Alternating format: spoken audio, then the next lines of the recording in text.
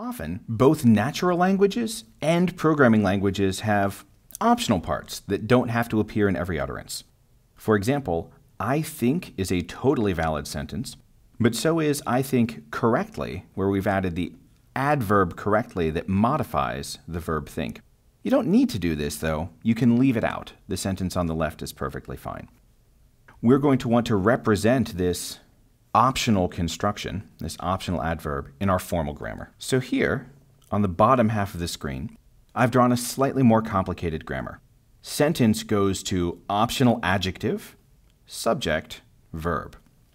Subject and verb work a lot like they did before. This time our subjects are either William or Tell, and our verb is either shoots or bows. But our optional adjective can either be the adjective accurate, or it can be nothing. It disappears. We can either leave this blank, or if you like, we could write that same epsilon we used to have there when we were talking about finite state machines that means the empty string or no input. So looking at this grammar, I have a quiz for you. Fill in the blank.